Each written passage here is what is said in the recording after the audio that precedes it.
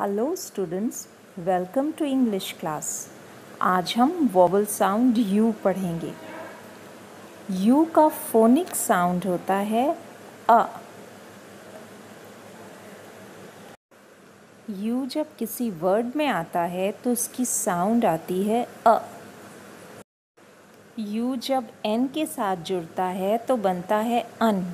B के साथ जुड़ता है तो बनता है अब और यू जब टी के साथ जुड़ता है तो बनता है अट।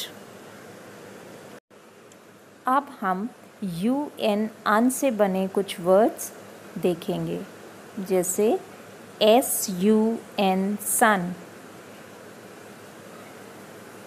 B U N bun, F U N fun. अब हम यू बी अप से बने कुछ वर्ड्स देखेंगे, जैसे C U B cub? R U B rub. T U B tub. अब हम यू टी अट से बने कुछ वर्ड्स देखेंगे, जैसे B U T but C U T cut. N U T nut. Let us revise all the words. S U N sun.